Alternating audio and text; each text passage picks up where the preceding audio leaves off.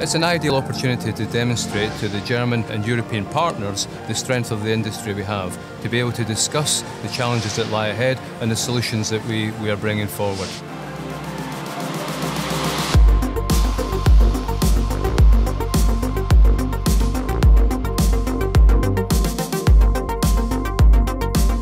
The future of aviation will be built in Germany. If you want to see these people that have the same enthusiasm and share with them your ideas and let them explain their ideas, you have to come to ILA.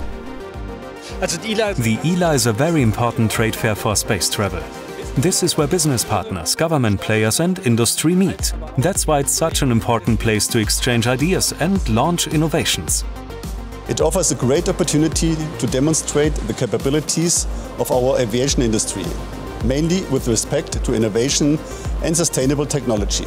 No other air show allows such a close interaction between industry and the public. ILA is a showcase for innovation and technology in aerospace, where we can display our impressive industrial capabilities. And ILA is where we, as Thales, meet our customers, our civil customers, as well as military customers and political stakeholders. The ILA is an exhibition and congress format that summarizes aerospace activities in a compact way. I believe that we must not only discuss aviation but also space travel. This is becoming increasingly important.